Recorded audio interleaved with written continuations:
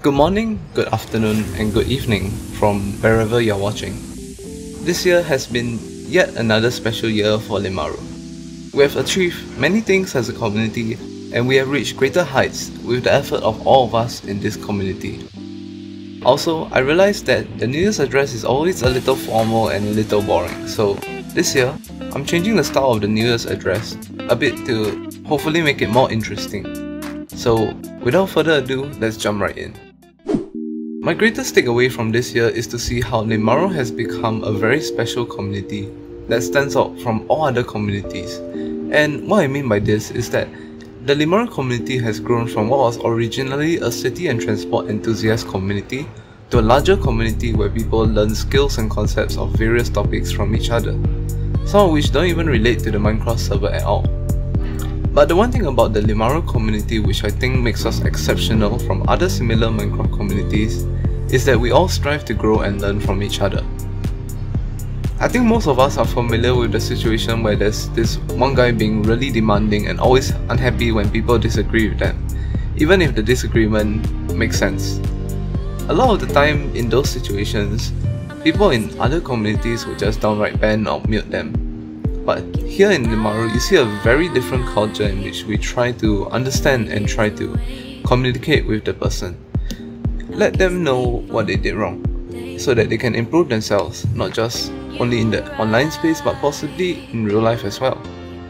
We have a culture of openness and flexibility, and while we do get frustrated when someone does a mistake, we always give them a second chance, sometimes even a third or fourth chance.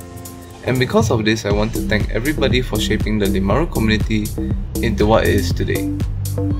Personally, I think it has helped me to grow as a person and be more open-minded to different perspectives.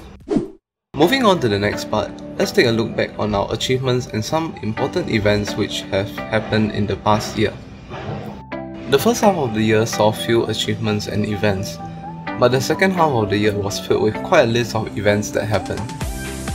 In February, the new staff ranks of police officer, detective and attorney launched, launched for the first time so that players would have a chance to play a part in the server's justice system. In the same month, Senri Town, a town for all players to build in, was opened to the public as a way for everyone to show their creativity. Results were mixed, with players starting an anti-leader campaign in the north and a communist wasteland in the south, and the only sensible build was a single house beside the main road. Moving on to March, YJJ City started the district system, with the first district being given to Fat Fox, which is now New Foxton. The cable car center was also renovated into the white appearance you see today. In May, renovation of Solutional Park Station was conducted, where the station was redesigned to look more aesthetically pleasing and also provide more space on the platform while providing seamless cross-platform transfers. The server also had more than 10 people for the first time in a day, which meant that trains were filled for the first time in the history of the server, and that was recorded as one of the videos.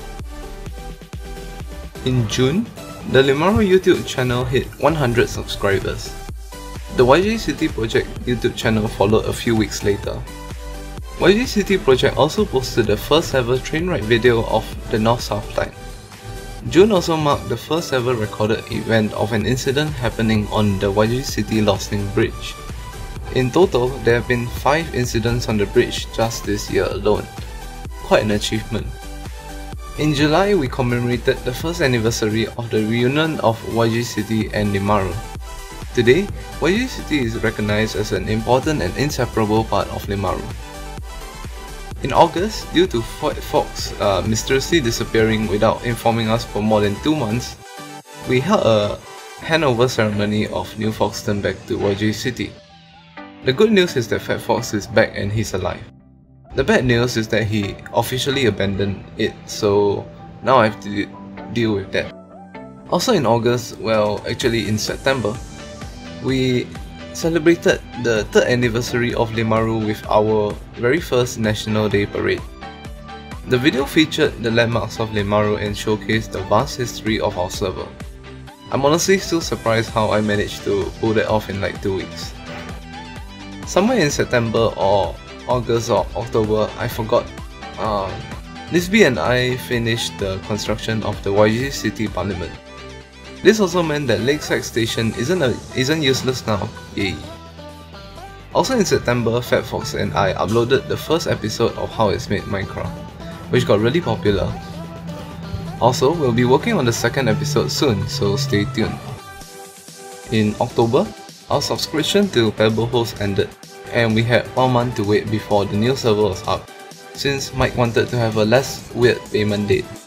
So for the month of November, we were kind of left waiting with nothing to do, until I got the server up using a Raspberry Pi which uh, had an average TPS of like 5, uh, playable but at the same time unplayable. And during that time work on Limaru's biggest station, Katsuragi, also started.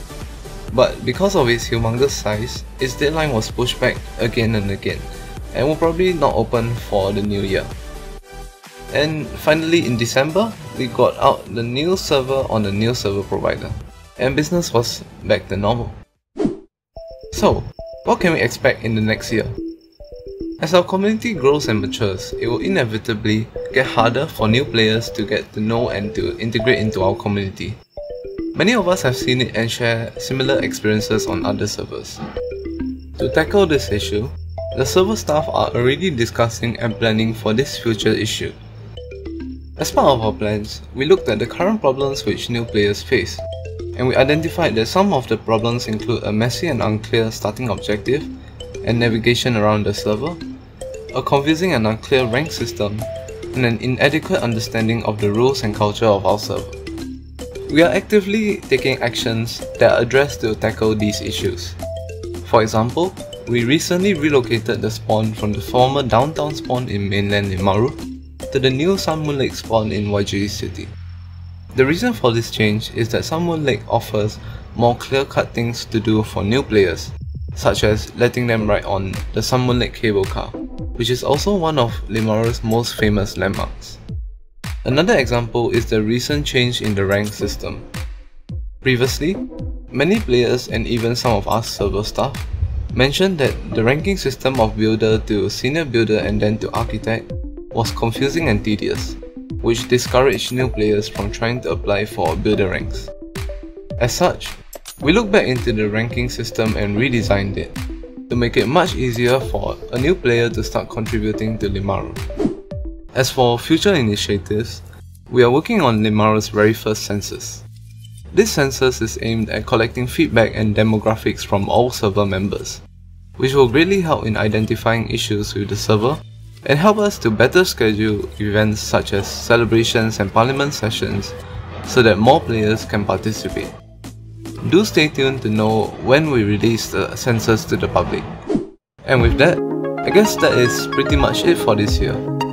We look forward to providing more awesome and memorable experiences for you here in Limaru in 2022. Goodbye and have a happy new year.